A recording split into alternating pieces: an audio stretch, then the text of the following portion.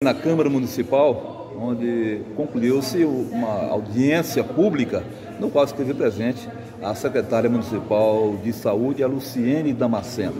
Ela veio falar sobre o RDQA.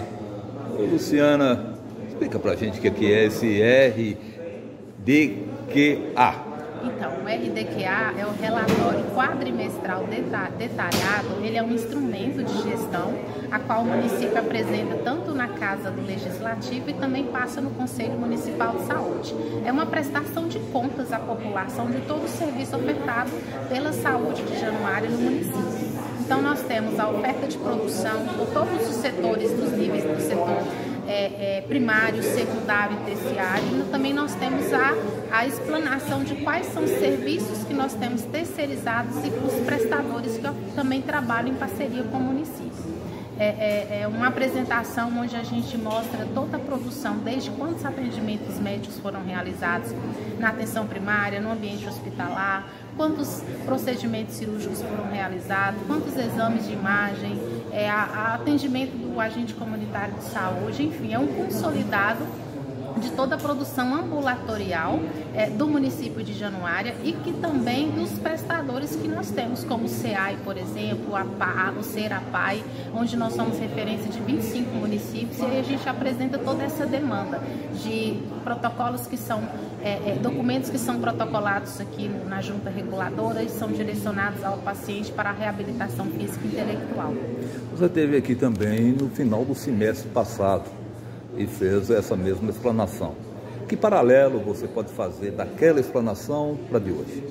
Uma evolução na prestação de serviço do município. Houve, nós, nós conseguimos é, ampliar a oferta de serviço e aumentar também o quantitativo de consultas, de exames e de cirurgias também realizadas no município. É, a gente ouviu na sua explanação aqui que o sistema aqui de Januária hoje está sendo utilizado por outras cidades que não fazem é, parte desse sistema. Há uma contrapartida financeira, já que aquele município teria que atender nele, né? o custo era dele.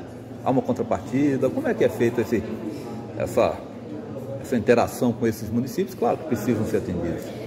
Com a oferta do serviço de cirurgia eletiva, nós tivemos vários municípios que fiz, fizeram remanejamento via PPI para Januária e aí nós somos porta aberta, né? Nós somos hospital geral, então nós temos a, a, a, a, garantia de ofertar o serviço a todos os municípios que remanejam a PPI para o município de Januária. Então todo custo é o município de Januária acolhe o usuário do Sistema Único de Saúde, realiza o procedimento e posterior da alta esse paciente. É, o custo financeiro é via PPI.